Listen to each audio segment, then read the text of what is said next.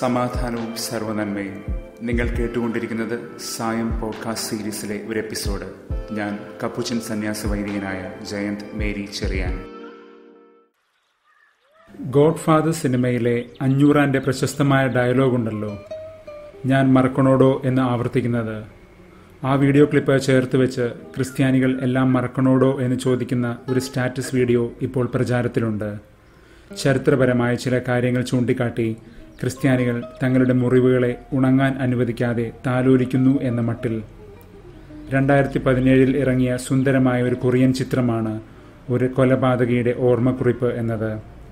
Alzheimer's ബാധിച്ച ഒരു പഴയകാല പരമ്പര കൊലയാളിയുടെ കഥയാണത്. അയാൾ മറ്റൊരു പരമ്പര കൊലയാളിയെ കണ്ടുമുട്ടുന്നു അല്ലെങ്കിൽ അങ്ങനെ കണ്ടുമുട്ടുന്നു എന്ന് അയാൾ വിചാരിക്കുന്നു. അവൻ ചെയ്ത കുറ്റകൃത്യങ്ങൾ തെളിയിക്കാൻ അയാൾ ആരംഭിക്കുകയാണ്. അതേസമയം അയാൾ തന്നെ ആശങ്കയിലാകുന്നു. താൻ തന്നെയാണോ ആ അപരൻ? താൻ തന്നെയാണോ എല്ലാ കൊലയും ഇപ്പോഴും ചെയ്യുന്നത്? നെവർ ട്രസ്റ്റ് യുവർ മെമ്മറി ഓർമ്മകളെ വിശ്വസിക്കരുത്. അയാൾ സദാ പറഞ്ഞുകൊണ്ടിരിക്കുകയാണ്. ഓർമ്മകൾ ചതിക്കും. പ്രത്യേകിച്ച് കയ്പും കണ്ണീരും തിങ്ങിയ ഓർമ്മകൾ. അത് കാലം കഴിയുന്തോറും ചീഞ്ഞളിയും ഉണങ്ങാത്ത മുറിവാകും. കഴിഞ്ഞ ദിവസം റിപ്പോർട്ട് ചെയ്യപ്പെട്ട അതിഭയാനകമായൊരു സംഭവം അറിഞ്ഞു കാണുമല്ലോ. ആസാമിൽ പ്രതിഷേധക്കാരായ ഗ്രാമീണരുടെ നെഞ്ചിൽ വെടിയുതിർക്കുന്ന പോലീസ്. വെടിയേറ്റ് വീണ ഒരു ദരിദ്രന്റെ നെഞ്ചിൽ ആഞ്ഞു ചവിട്ടുന്ന പോലീസിന്റെ ഔദ്യോഗിക ഫോട്ടോഗ്രാഫർ. അയാളുടെ കലി അടങ്ങുന്നതേയില്ല. മരിച്ചു കിടക്കുന്ന ആ ഗ്രാമീണന്റെ ഗമൂസ എന്ന തോർത്തുമുണ്ട് അവിടെ ഉലഞ്ഞു കിടക്കുകയാണ് ആസാമികൾ അഭിമാന ചിഹ്നമായി ധരിക്കുന്ന ഗമൂസ. ആരെങ്കിലും കരുതുന്നുണ്ടോ ആ ഫോട്ടോഗ്രാഫറുടെ വെറി ഒറ്റ ദിവസം കൊണ്ട് ഉറപൊട്ടിയതാണെന്ന്? അല്ലേയല്ല. അല്പാൽപമായി കയ്പ് തിന്നിട്ട് തന്നെയാണ് അവൻ അങ്ങനെയായത്. അതുകൊണ്ട് തന്നെ ഇപ്പോൾ കയ്പ് തിന്നാൻ നാം ആരംഭിച്ചിട്ടുണ്ടെങ്കിൽ ഓർക്കുക നാം താമസിയാതെ ശത്രുക്കളെ അക്ഷരാർത്ഥത്തിൽ കൊല്ലുന്നവരായി മാറും. അതുകൊണ്ട് നാം എല്ലാം മറന്നു തന്നെ ആകണം. കാരണം നമ്മുടെ ഓർമ്മകൾ വിഷലിപ്തമാണെങ്കിൽ അവ ഒരിക്കലും സൂക്ഷിച്ചു വയ്ക്കരുത് ദൈവം നമുക്ക് വേണ്ടി എല്ലാം ഓർത്തു വെച്ചുകൊള്ളും. സഖറിയാവൂ ദൈവം ഓർക്കുന്നു. ആ പേര് നാം കഴിഞ്ഞ ദിവസം ധ്യാനിച്ചതേയുള്ളൂ. ഇന്നലെ സംഖ്യ പതിനൊന്നിൽ മോശയെ പ്രതി ഊറ്റം കൊള്ളുന്ന ജോഷുവയോട് മോശ ചോദിക്കുന്നുണ്ട് നീ എന്നെ പ്രതി തീക്ഷ്ണത കാണിക്കുകയാണോ? അസ്ഥാനത്താണ് അവന്റെ തീക്ഷ്ണത. കാരണം അവൻ ദേവഹിതത്തെ തന്നെ വിലക്കാൻ ഒരുമ്പിടുന്നു. തീക്ഷ്ണത ഖാന എന്ന ആ പദം ഇന്ന് സക്കറിയ എട്ട് രണ്ടിലും നാം കാണും.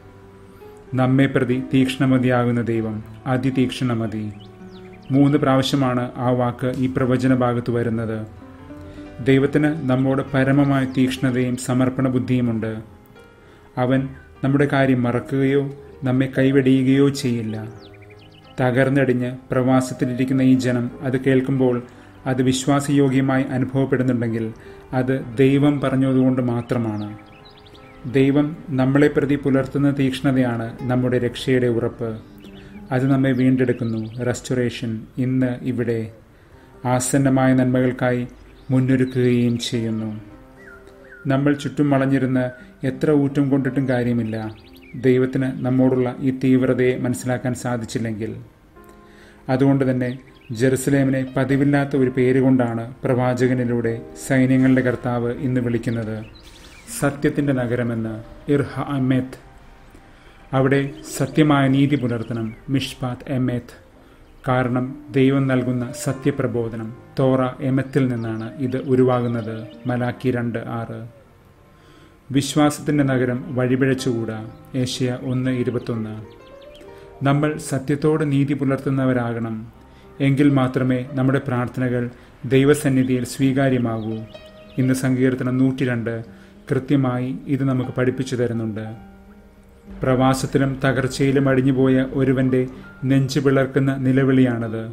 പക്ഷേ അവൻ തന്റെ പരിമിതികളെ ദൈവത്തിന്റെ അളവില്ലാത്ത ശക്തിയോട് ചേർത്ത് വയ്ക്കുന്നു.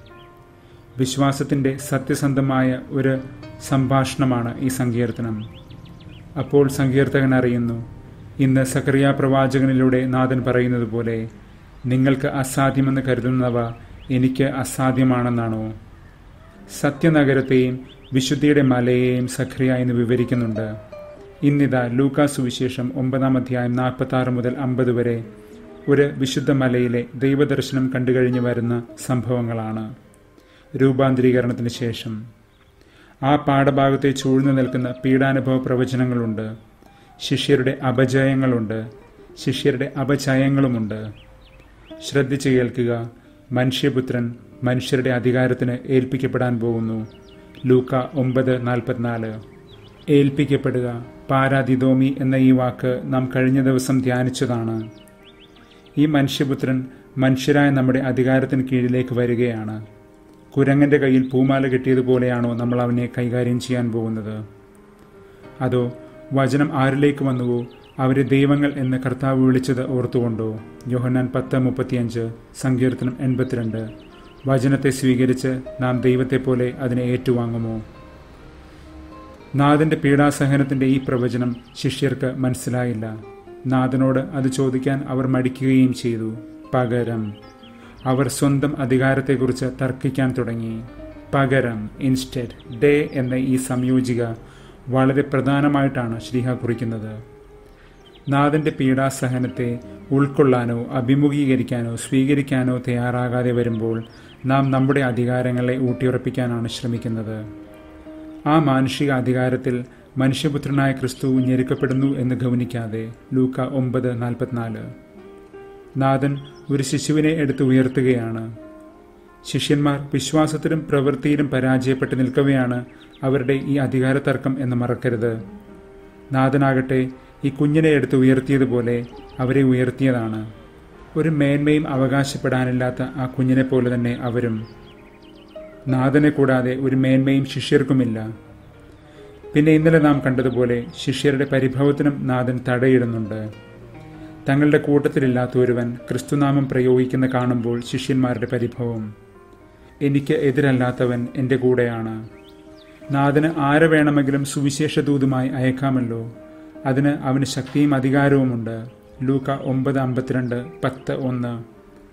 അതുകൊണ്ട് നാഥന്റെ അധികാരം നേടിയവർ എന്ന് കരുതുന്നവർ തിരിച്ചറിയുക. നിങ്ങൾ അധികാരികളല്ല അധികാരത്തിന് കീഴ്പ്പെട്ടവർ തന്നെയാണ്. ഇങ്ങനെ ഒരു അധികാര തർക്കത്തിൽ സബദിപുത്രന്മാരോട് നാഥൻ പറഞ്ഞില്ലേ തന്റെ പാനപാത്രം കുടിക്കാൻ അവർക്ക് സാധിക്കുമോ എന്ന്? മർക്കോസ് പത്ത് മുപ്പത്തിയഞ്ച് മുതൽ. ഇന്ന് നാം തിരുനാൾ ആഘോഷിക്കുന്ന വിശുദ്ധ വിൻസെന്റ് ഇപ്പോൾ പറയും ചിലർ ഈ രക്ഷയുടെ പാനപാത്രം സ്വീകരിക്കാൻ വിസമ്മതിക്കുന്നു. അതിനാൽ തന്നെ അവർക്ക് വിശ്വാസത്തിന്റെ വെളിച്ചം നിഷ്പ്രഭമാകുന്നു. അങ്ങനെ അവരുടെ സ്വാതന്ത്ര്യത്തെ അവർ നാശത്തിലേക്ക് നടക്കാനാണ് ഉപയോഗിക്കുന്നത്. വിശുദ്ധൻ തുടരുകയാണ് എല്ലാവരും രക്ഷപ്പെടണമെന്ന് ദൈവം ആഗ്രഹിക്കുന്നു. അതിനുള്ള മാർഗങ്ങളും കാണിച്ചു തരുന്നുണ്ട്. ആരെങ്കിലും അത് പാലിക്കുന്നില്ലെങ്കിൽ അത് ദൈവത്തിന്റെ കുറ്റമല്ല അവരുടേത് മാത്രമാണ്.